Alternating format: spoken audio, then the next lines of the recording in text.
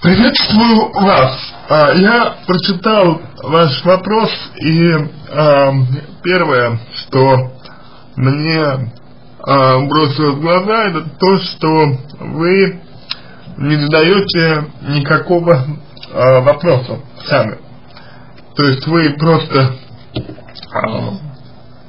перечисляете какие-то определенные обстоятельства своей жизни и все. То есть какого-либо вопроса вы не задаете. И это первый момент. Какую помощь вы хотите получить? В чем ваш вопрос? А, понимаете, постановка вопроса с вашей стороны это очень важный момент для понимания того, какая у вас э, проблема. Потому что вопрос можно поставить так. А почему, например, мужчина так себя ведет? Вопрос можно поставить так, что мне делать?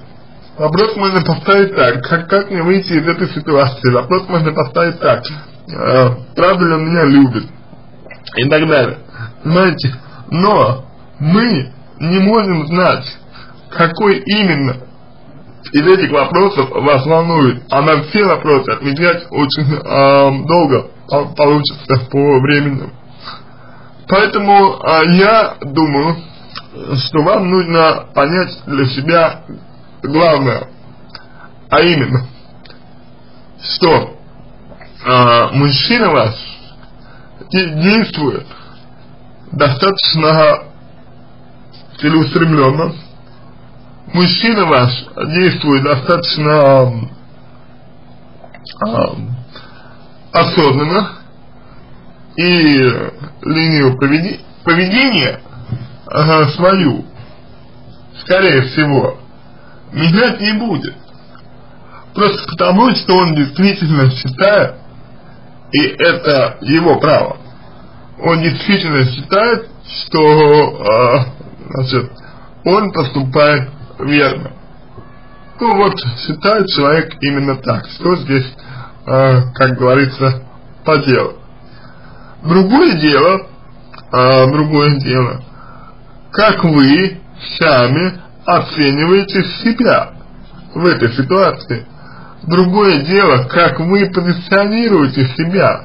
Вот это куда более важно. Например, вы по какой-то причине э, идете на поводу у этого мужчины. Вы по какой-то причине считаете, что мужчина вправе так себя вести. По какой-то причине вы полагаете, что он имеет полное право э, действовать таким образом и совершенно не э, рассматриваете совершенно не рассматриваете вариант, при котором вы могли бы от него уйти. Ну, например, почему вы пожертвовали своими детьми ради него? А, это первый, это первый момент. момент. А, почему вы отдали своих а, детей а, своему бывшему а, мужу, да, твоему бывшему супругу ради этого человека. Вы позволили вы позволили своему мужчине а, вами управлять. Вот а, у меня к вам и вопрос.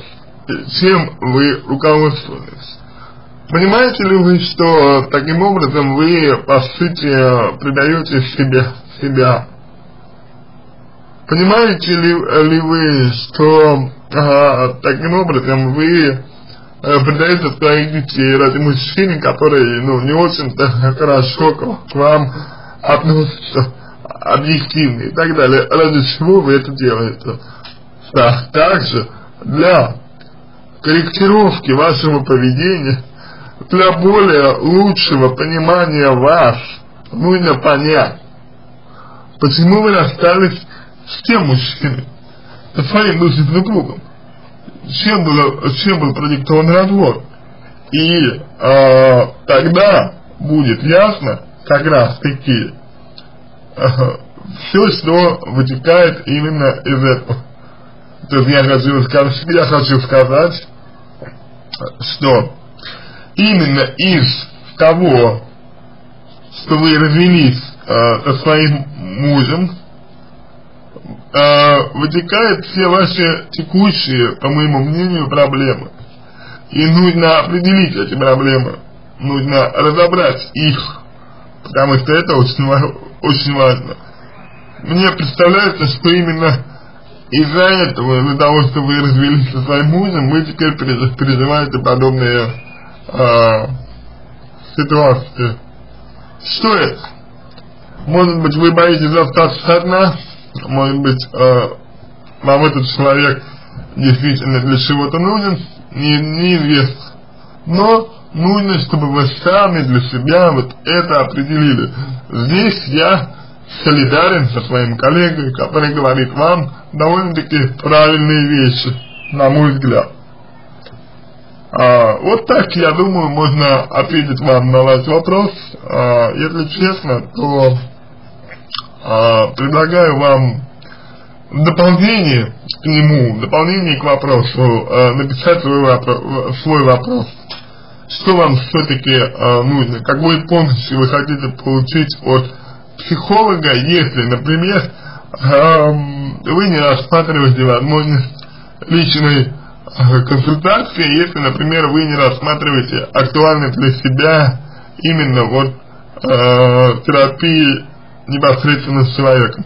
Потому что, ну, если у вас есть самооценка и явная зависимость от него, и проблемы с бывшим мужем, то все это, скорее всего, у вас э, родительский э, сценарий из детства. Но это все нужно разбирать, чтобы э, видеть полную кар картину. Вот так вот по одному сообщению и по краткому описанию даже не вас, а ситуации, в которой вы оказались, нельзя сделать какие-либо выводы, к сожалению.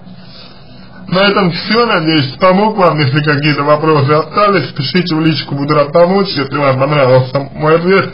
Буду благодарен, если сделаете его лучшим, желаю вам всего самого доброго и удачи.